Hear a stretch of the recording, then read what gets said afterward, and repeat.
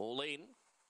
Way and racing, and my boy Robert jumped pretty quickly from the middle of the line. Away well also Sweet Zandra with Glorious Glory, and now coming through Major Cyclone to lead us back, and then Min Georgie. Thai Butterfly right down the middle. So Major Cyclone moved up to my boy Robert, who tries to go with, but it's Major Cyclone forcing clear, and the old boy wins again. Major Cyclone by a length and a half, beating my boy Robert. Third on the outside, Min Georgie just over Glorious Glory. Ahead away fifth Thai Butterfly, and Sweet Zandra was close up, but last of the six in. Time around 1691. Well, he just knows how to win, doesn't he, Major Cyclone? He was able to move up to my boy Robert at halfway, and the big loping boy was able to take the lead and take the win. Number four first, Brian Hodgson. All from numbers of four, five, seven, and eight.